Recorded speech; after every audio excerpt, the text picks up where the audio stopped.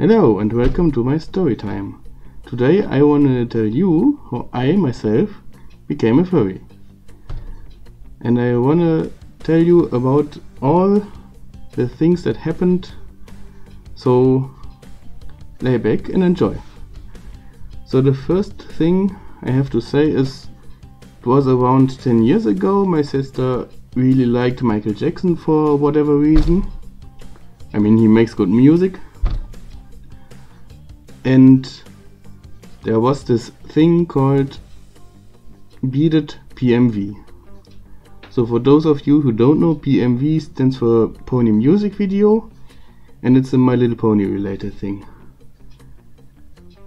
And my sister, she just showed me this and I don't know why, I really liked it. I really liked the characters, the movement, the whole video, it was just really good and um, yeah. Then I searched up for it a bit a little bit and I really fall in love with this stuff. It's not exactly the show itself. I mean the show is good but yeah it's okay. But what I really loved about this is the whole stuff around the show the music, the videos, the artists, the drawings, everything. Just the community around it was so big, so nice. And there are so many artists out there who really just can sing really well or can draw really good. It was just great. So this took place in my life for around seven years. Seven years, yeah, around seven years. And then I also tried to do some Minecraft Let's Plays. Uh, I'm honest, uh, I'm not as good as you may think. Yeah, so I started trying out Minecraft Let's Plays and I don't know, it just wasn't that good. Was just nothing for me. But then I found a Let's Player who I really liked. It was a small one, so he was very kind. He made good videos for the start. And I really liked him. And I got in touch with him. And we once decided, come on, let's stream together. Why not? We made a little server and streamed with four or five guys. And then I thought hey come on. Why don't I reactivate my old YouTube channel and just try it out? Maybe it will work. Yeah. So I reactivated my old YouTube channel with the My Little Pony stuff. And for whatever reason I don't know YouTube decided to show me an fursuiter called Sparky. If you wanna see her on YouTube, uh, oh shit, I will show you if I can handle this. Yeah. So. Eh. Wait, I never tried to to type with the pause on Sparky Bites. This is her. This is her channel. And this video here is what I got shown. I don't know, maybe because I like the motorcycles, because I myself collect some motorcycles and YouTube decided, hey, he likes the My Little Pony stuff, he likes motorcycles, let's show him this video.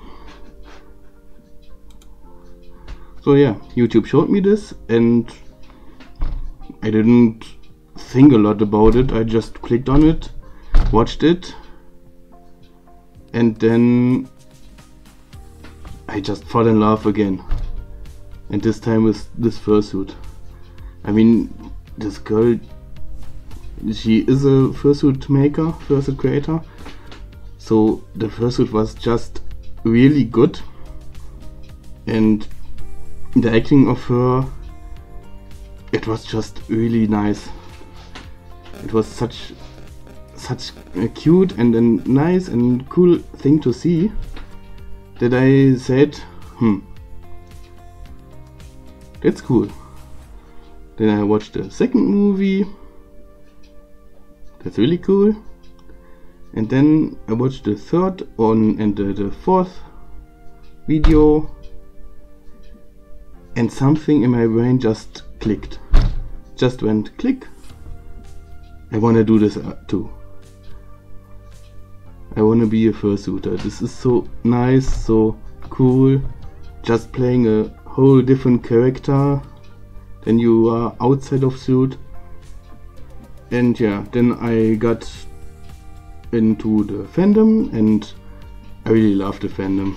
There's so many cool guys around here. And um, I got in touch with someone who owns a couple of fursuits and he asked me hey you wanna try on my old suit? And I just went yeah sure of course.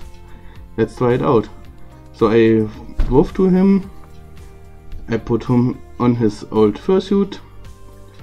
And we were shooting together and this was just incredible. I mean my first expressions it was heavy, it was hard to breathe, hard to see.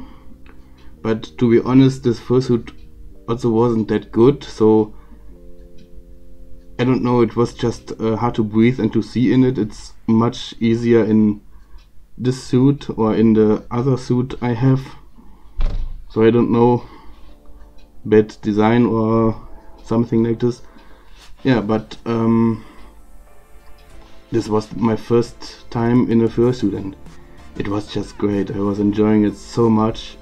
I still have to say thank you to giving me the um, the chance to try this out.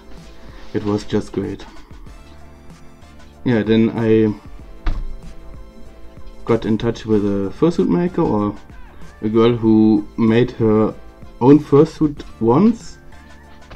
And I just asked her hey you wanna try it for me? And she said yes let's try it. And she made me a fursuit. And it was a really good fursuit.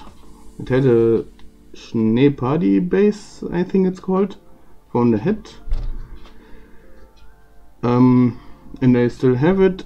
I just don't feel to wear it anymore because it's a completely different character from Butterscotch. Maybe I'll do it later someday.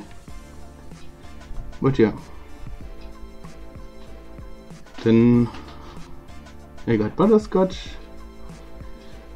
And then some stuff happened which I'm not really proud of I yeah just bad things. I don't want to talk about this here. So I got silent for one and a half years. Yeah and now I decided hey I wanna come back. I wanna do this again. I wanna try to make videos and yeah just let's see how this works out. So here I am now. I'm a furry for almost four years now it's it's way longer than I thought. I I don't know. I think it's because of COVID the time just passed away. Yeah. And I also want to talk about my parents. So unfortunately my mother passed away. She didn't saw any of this. But I think she would like it too. She liked a lot of stuff I did and yeah. But my father, he's absolutely cool with it. He also goes out on a fursuit walk sometimes with us uh, as a spotter and makes photos and everything and my sister also likes it. She sometimes came with us and made photos and it's just great to have such a nice family there. Yeah. So this is the story how I became a furry. And I just have to say besides of some bad things the main thing the, the big thing it's just wonderful. You meet so many guys who you can do so much stuff and you don't even need to, to own a fursuit. Just liking this stuff is enough in this fandom I for myself I decided the way that I want fursuit and go suiting but you don't have to and it's just great. Yeah so thank you for your time. I hope you like this video and see you next time. Bye